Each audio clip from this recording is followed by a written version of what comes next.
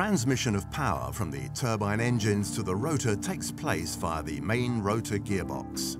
Within the main rotor gearbox, the bevel gear shaft contributes to the reduction of speed and ensures drive of lubrication pumps. How is it made?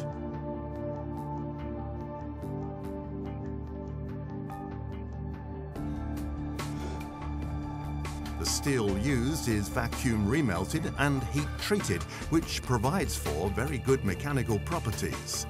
In addition, preliminary material quality checks are carried out before any manufacturing begins.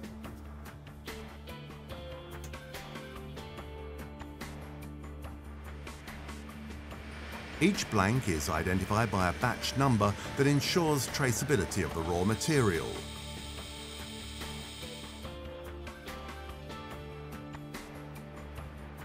A new generation of gear cutting machines is used to produce spiroconical teeth of high robustness and accuracy. Nitriding. This process is often repeated in order to improve the properties of the meshing surfaces, thus improving the life of the parts. The finished tolerance of the teeth is to a few microns, which provides a high quality of meshing, thus ensuring high reliability. Machining limitations require that all shaft bevel gears be made in two parts. The gear and vertical shafts are assembled by electron beam welding. This process is computer monitored and a fine focus control allows accurate positioning of the weld. The quality of the weld is checked by ultrasonic and radiographic methods. These measures assure a solid, high-quality reinforced weld.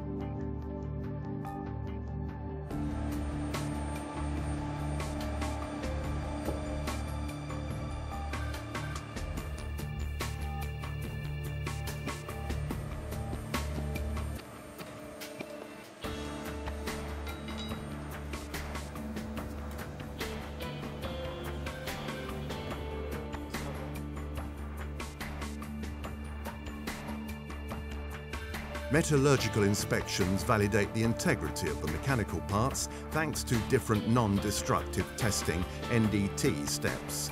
Each part has an individual serial number which ensures 100% of traceability. Material must be metallurgically pure with no impurities or surface defects permitted.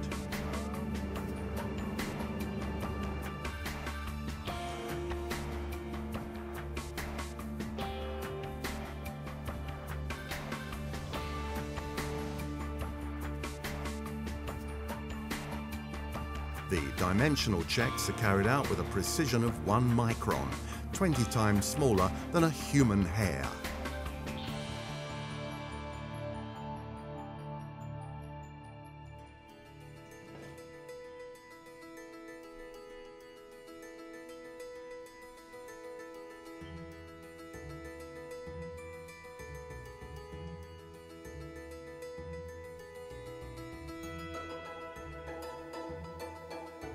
A final visual check is performed on all the parts before delivery to the assembly line.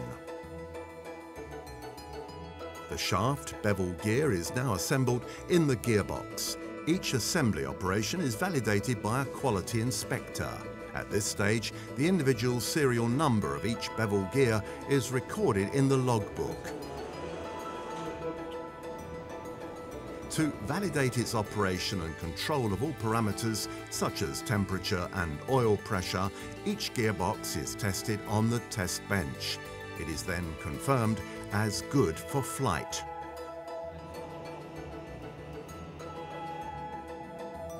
The gearbox is mated with the rotor hub and is then delivered to the assembly line.